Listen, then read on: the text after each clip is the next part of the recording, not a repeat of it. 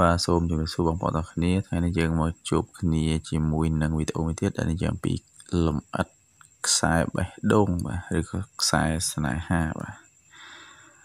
អូខេគឺយើងហៅថា headline ទី1បន្តត់បេះដូងត្រូវបាន គេហៅផងដែរថាបន្តត់ស្នេហា គឺជាខ្សែមួយក្នុងចំណោមបន្តត់ធំទាំង3ក្នុងការទស្សទីបាត់ដៃ វាស្ថិតនៅខាងលើខ្សែខួរក្បាលដែលចាប់ផ្ដើមពីគែមនៃបាតដៃក្រោមរាមដៃតូចឬក៏កូនដៃហ្នឹងដែលកំពុងរត់ឆ្លងកាត់បាតដៃហើយបញ្ចប់នៅខាងក្រោមរាមដៃកណ្ដាលឬរាមដៃចង្អុលឬកន្លែងដែលពួកវាទៅចូលរួមភ្ជាប់ជាមួយគ្នាបាទ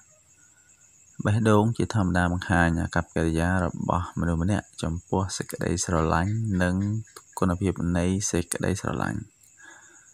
មិនថាអ្នកមានសេចក្តីស្រឡាញ់ជ្រាលជ្រៅឬអត់នោះទេអារម្មណ៍របស់អ្នកមានភាពស្មុគស្មាញឬក៏សាមញ្ញបើសិនបើសេចក្តីស្នេហានិងជីវិតអាពាហ៍ពិពាហ៍របស់អ្នកដំណើរការទៅដោយរលូនហើយថាតើអ្នកអាចមានទំនាក់ទំនងផ្ទាល់ខ្លួនល្អ អាចឆ្លុះបញ្ចាំងអំពីខ្សែបេះដូងដែរឬទេ2អ្វីទៅជាខ្សែបេះដូងល្អជាទូទៅប្រសិនបើខ្សែបេះដូងរបស់អ្នកមានភាពជ្រៅនិងច្បាស់លាស់ល្អមានរាងកោងមិនដាច់មិនលាយឡំគ្នាឬមានភាពច្របច្របោកច្របល់នោះហើយលាតសន្ធឹងទៅដល់ម្រាមដៃចង្អុលឬម្រាម រវាងម្រាមចង្អុលនិងម្រាមដៃកណ្ដាលនោះ អ្នកមានជីវិតស្នេហានិងអារម្មណ៍ល្អប្រសិនបើមានមេឃ2ឬ3នៅខាងចុងវាកាន់តែប្រសើរវាបង្ហាញថា អ្នកមានទំនួលខុសត្រូវល្អចំពោះបេះដូងឬក៏ស្នេហាឬក៏ចំណងមិត្តភាពនិងភាពពេញនិយមក្នុងចំណោមមិត្តភ័ក្តិបាទខ្ញុំមាន3ដែរ បងប្អូនបាទបែកមេឃជា3ប៉ុន្តែនៅដៃឆ្វេងដៃស្ដាំវារញ៉េរញ៉ៃបន្តិចចូលមកកាន់ចំណុចទី3គឺករណីវាខ្លីវាមានន័យយ៉ាងដូចម្ដេចទៅបាទប្រសិនបើខ្សែបន្ទាត់បេះដូងរបស់អ្នកខ្លីលាតសន្ធឹងទៅដល់ម្រាមដៃនាងឬក៏ចិត្តដល់ម្រាមដៃកណ្ដាលឬអវត្តមានតែម្ដងវាបង្ហាញថាអ្នកជាមនុស្សអាត្មានិយមគ្មានមេត្តានិងចង្អៀតចង្អល់ចូលចិត្តធ្វើសកម្មភាពតាមអំពើចិត្ត ដោយមិនគិតពីផលវិបាកដូច្នេះអ្នកងាយនឹងត្រូវគេរើអើងដោយមនុស្សជំវិញនឹងខ្លាចជាមនុស្សឯកោ សម្រាប់ជីវិតស្នេហារបស់អ្នកក៏មិនជារលូននោះទេបាទចូលមកកាន់ចំណុចទី4គឺករណីវិញខ្លាំងបើសិនបើខ្សែបេះដូងរបស់អ្នកវិញខ្លាំងដែលលាតសន្ធឹងដល់គេម្ខាងទៀតដូចក្នុងរូបភាពបង្ហាញ វាបង្ហាញថាអ្នកជាមនុស្សត្រង់នៅក្នុងអាជីពអ្នកអាចទទួលបានជោគជ័យឬក៏ជ័យជំនះទោះបីជាអ្នកឆ្លងកាត់ការលំបាកជាច្រើនក៏ដោយ ការឆ្លងកាត់ការលំបាកវាគឺជាបទពិសោធន៍បាទលុះត្រាតែខ្សែមុខរបស់របស់អ្នកច្បាស់ដោយគ្មានការបែកបាក់នៅក្នុងទស្សនវិជ្ជានៃស្នេហាបរោះជាធម្មតាមានភាពរ៉ូមែនទិកនិងត្រូវបានគេយកចិត្តទុកដាក់ ស្ត្រីភាគច្រើនស្មោះត្រង់នឹងស្នេហារបស់ពួកគេទោះយ៉ាងណាក៏ដោយជាធម្មតាអ្នកមានការរអាក់រអួលសំខាន់សំខាន់ក្នុងជីវិតផងដែរពេលបែកគ្នាជាមួយមិត្តប្រុសឬមិត្តស្រីឬរៀបការហើយបែកបាក់គ្នាអ្នកនឹងជឿចាប់ខ្លាំងបាទយ៉ាងខ្លាំងចូលមកកាន់ចំណុចទី5ការបញ្ចប់នៅលើភ្នំនៃភពប្រហោះគល់ចង្អុលដៃហ្នឹង ដោយរូបភាពបង្ហាញបើសិនបើបន្តបេះដូងរបស់អ្នកលាតសន្ធឹងទៅលើភ្នំ Jupiter ឬក៏ភ្នំប្រហោះហ្នឹងដែលស្ថិតនៅខាងក្រោមម្រាមចង្អុលវាបង្ហាញពីភាពសម្បូរបែបនៃសេចក្តីស្រឡាញ់សេចក្តីសុបិនដ៏អស្ចារ្យនិងការរំពឹងឬក៏ការសង្ឃឹមខ្ពស់ចូលមកកាន់ចំណុចទី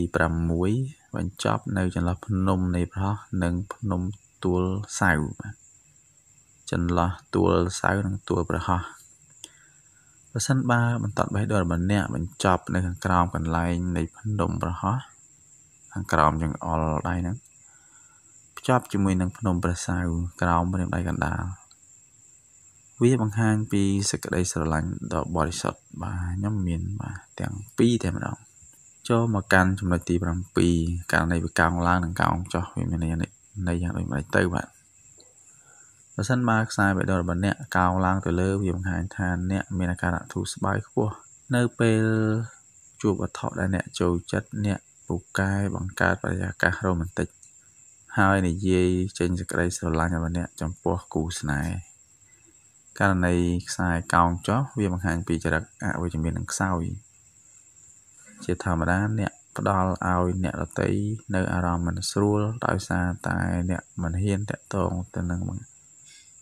មិនហ៊ានតាក់ទងនិងមិនហ៊ានបង្ហាញនៅអារម្មណ៍ស្នេហារបស់អ្នកដូច្នេះមានភាពស្រពេចស្រពិលជាមួយទំនាក់ទំនងស្នេហាឬក៏ជីវិតអាពាហ៍ពិពាហ៍របស់អ្នក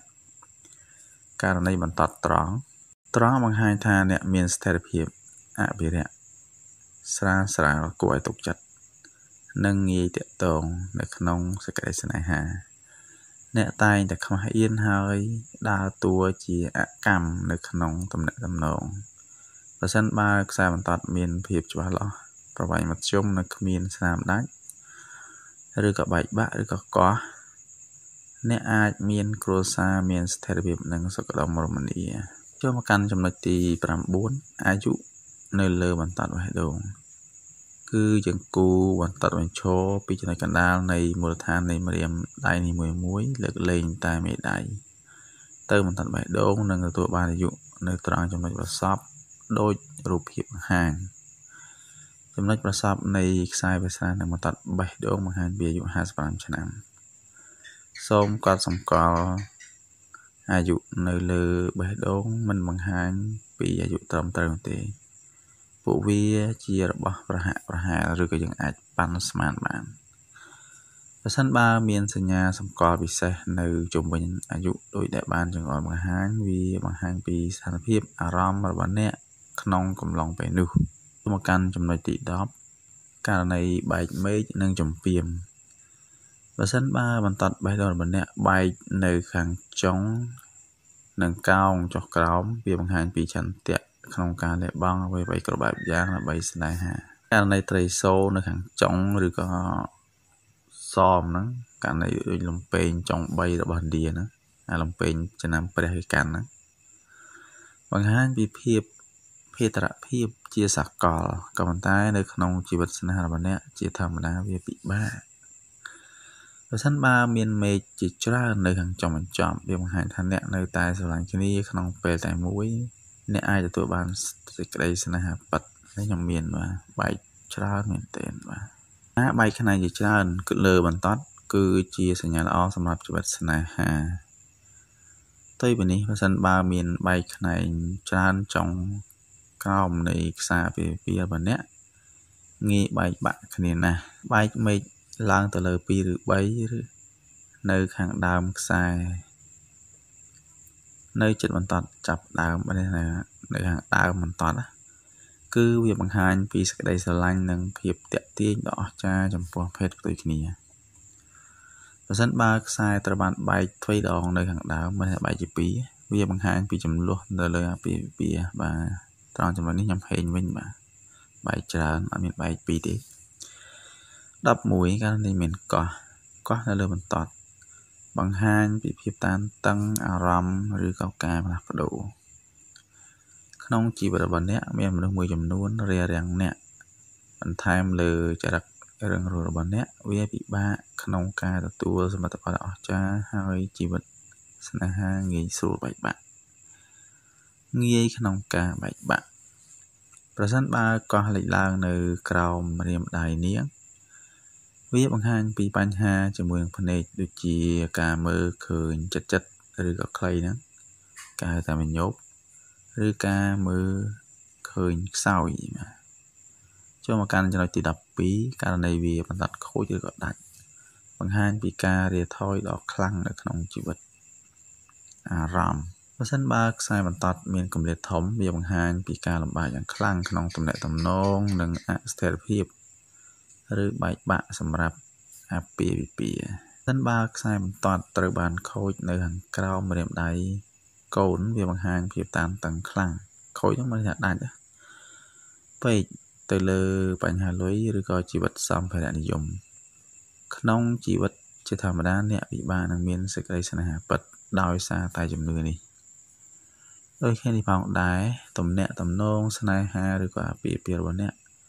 អាចបែកបាក់ដោយសារអ្នកមិនអាចនៅជាប់នឹងដៃគូរបស់អ្នកដោយស្មោះត្រង់នឹងនោះទេបាទបើសិនបើខ្សែត្រូវបានបែកនៅខាងក្រោមកន្លែងម្រាមដៃនាង និងម្រាមដៃកូនភ្ជាប់ និងបញ្ចប់នៅខាងក្រោមកន្លែងដែលម្រាមដៃនិងម្រាមដៃកណ្ដាលជាប់គ្នាសម្រាប់ស្ត្រី វាបង្ហាញពីអាពាហ៍ពិពាហ៍ដែលបរាជ័យក្នុងជីវិតទោះជាយ៉ាងណាក៏ដោយបន្ទាប់ពីរៀបការអ្នកអាចធ្វើជាម្ចាស់នៃសេចក្តីស្រឡាញ់ពិតនិងរីករាយនឹងជីវិតអាពាហ៍ពិពាហ៍ដ៏រីករាយមួយទៀតវាក៏បង្ហាញថាអ្នកជាធម្មតាចំណាយខ្ជិះខ្ជាយនិងពិបាកសន្សំប្រាក់ ការដាច់បន្តត់ក្រោមម្រាមដៃកណ្ដាល ហើយផ្នែកទាំងពីរមិនស្ថិតក្នុងបន្តត់ត្រង់ជាមួយគ្នា គឺបង្ហាញពីជំងឺឬក៏ភាពមិនល្អឬក៏ជីវិតអាពាហ៍ពិពាហ៍ដែលមិនសប្បាយចិត្តអ្នកងាយនឹងបែកបាក់ប្រសិនបើផ្នែកទាំងពីរដាច់ពីគ្នា ស្ថិតនៅក្នុងជួរតែមួយ អ្នកងាយនឹងទទួលរងពីជំងឺដោយសារតែជាមរតមិនស្រួល ប្រសិនបើដៃរបស់អ្នកធាត់អ្នកគួរតែចំណាយពេលច្រើនទៅលើចរន្តឈាមរបស់អ្នកអ្នកត្រូវបានគេណែនាំឲ្យធ្វើលំហាត់ប្រាណបន្ថែមទៀតដើម្បីជំរុញចលនាឈាមរត់បាទប្រសិនបើខ្សែបន្ទាត់មានភាពច្របូកច្របល់ឬស្នាមដាច់ច្រើនវាបង្ហាញថាអ្នកជាមនុស្សតូចតាចមានអារម្មណ៍ច្របូកច្របល់និងឆាប់ខឹងអ្នកពិបាកនឹងទទួលបានជីវិតស្នេហាដ៏រីករាយណាស់